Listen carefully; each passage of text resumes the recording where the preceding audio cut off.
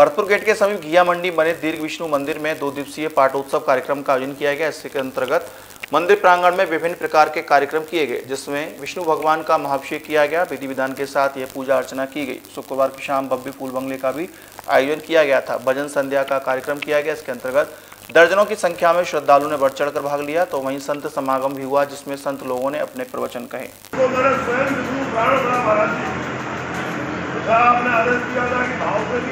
हम श्री विष्णु भगवान कहते बिल्कुल शास्त्रों वेदों ने रूप रूप से ऐलान कर दिया है। जो संग चक्रधार और ब्रह्म बाबा विष्णु भगवान है। इसके लिए मैं आपसे निवेदन करूँ महाराज जी, भगवान का दीर्घ सबसे पहले क्यों आया? मैं पाँच मिनट तक सारी बात को करूँगा।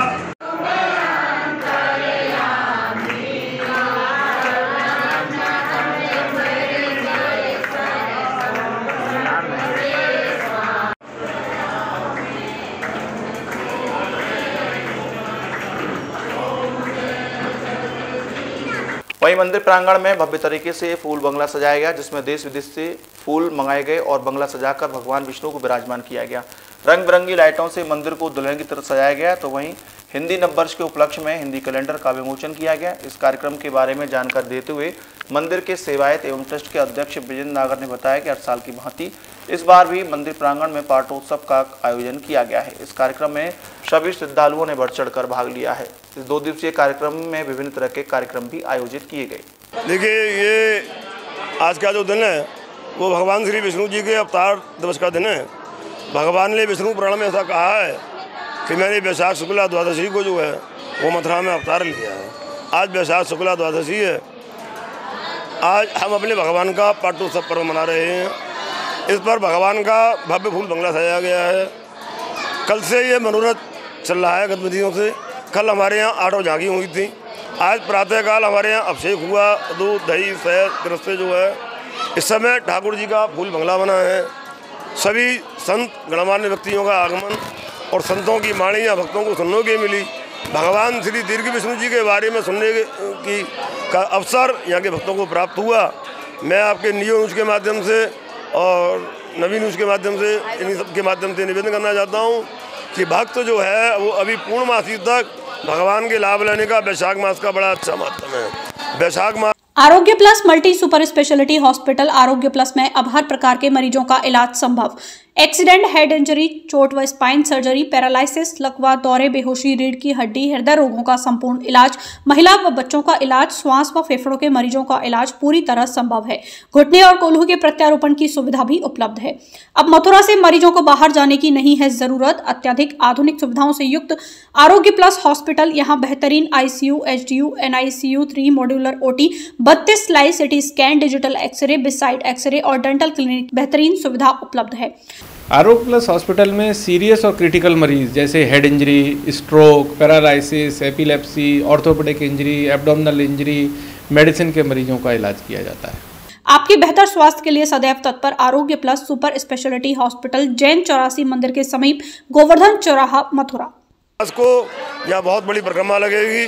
भक्तों से आग्रह है कि वो पूर्णमासी को यहाँ परिक्रमा देने के लिए मथुरापुरी के तीर्थ स्थल क्षेत्र में विराजमान भगवान श्री धीर विष्णु मंदिर का आज पाठोत्सव का भव्य आयोजन यहाँ किया जा रहा है।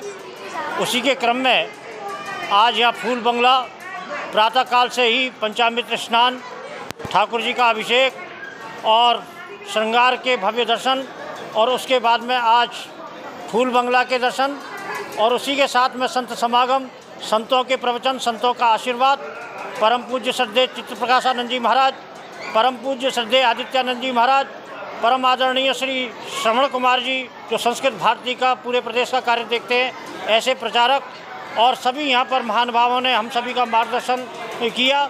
आज बहुत ही आनंद और उत्सव का दिन है। द्वादशी का दिन प्रतिवर्ष के दिन वैशाख मास की द्वादशी को प्रतिवर्ष यहाँ पर पाठोत्सव मनाया जाता है।